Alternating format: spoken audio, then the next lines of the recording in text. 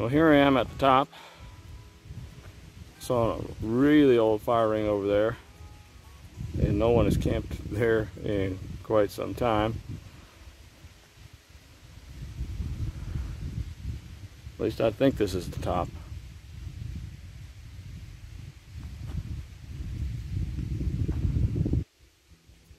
And the mystery continues because the sign is gone. And it now says Joe and Jack Mountain.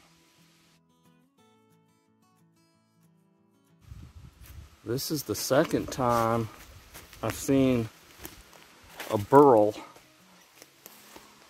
like this on the Benton MacKaye Trail. I think it's the same kind of tree as well.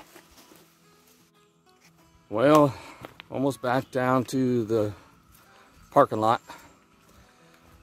So, uh, if you like the video, please hit that uh, thumbs up button down there at the bottom of the screen, right below the video.